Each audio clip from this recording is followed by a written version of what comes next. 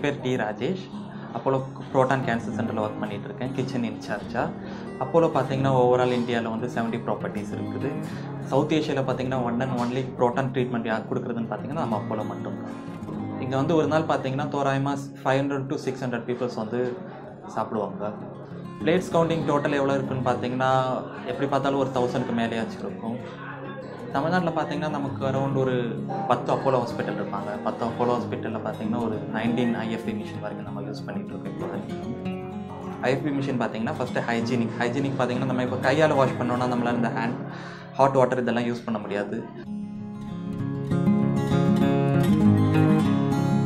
எப்படின்னு பார்த்தீங்கன்னா வாட்டர் இதில் எயிட்டி டிகிரி செல்சியஸ் வரைக்கும் வாட்டர் ஹீட்டாக யூஸ் பண்ணுறோம் அதுவும் இல்லாமல் பார்த்தீங்கன்னா பேஷண்ட்டுக்கு வந்து ஒரு ஃபிஃப்டி டிகிரி செல்சியஸ் வாட்டர் நம்ம வாஷ் பண்ணாலே பாதி கிருமிங்க வந்து செத்துக்கணும் பேஷண்ட்டுக்கு வந்துட்டு ஒரு ஹைஜிக்கான ஹைஜீனிக்கான பிளேட்டில் ஃபுட்டு வந்து சர்வீஸ் பண்ண முடியுது அப்புறம் பார்த்தீங்கன்னா மேன் பவர் வந்து ரொம்ப கம்மி பண்ணணும் மேன் பவர் எப்படி கம்மி பண்ணணும்னு பார்த்தீங்கன்னா இப்போது இப்போ வந்து பார்த்தீங்கன்னா ஸ்டாஃப் வச்சு பண்ணோம்னா அட்லீஸ்ட் செவன் ஸ்டாஃப் வச்சு வேணும். இப்போ ஐஎஃப்பி யூஸ் பண்ணுறோம்னா ஜஸ்ட் டூ ஸ்டாஃப்ஸ் போதும்.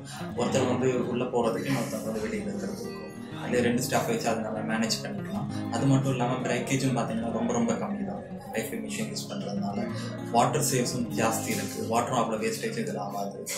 ஐஎஃப்பி மிஷின் சர்வீஸ் பார்த்தீங்கன்னா நல்லா தான் இருக்குது இது வரைக்கும் எந்த ப்ராப்ளமும் கிடையாது. அது இல்லாமல் பெட்டராக தான் இருக்குது கம்பேர்ட் டு நமக்கு இந்த lunch time and dinner time பார்த்தீங்கன்னா அந்த மீல் டைமில் வந்துட்டு ரெஸ்டாரண்ட்டும் சரி ஃபேஷன் சர்வீஸும் சரி ரொம்ப பிஸியான ஸ்கெடியூல் அந்த டைமில் பார்த்தீங்கன்னா பிளேட் நமக்கு குயிக்காக வேணும்னா ஐபி மிஷின் ரொம்பவே சப்போர்ட்டாக இருக்கும்.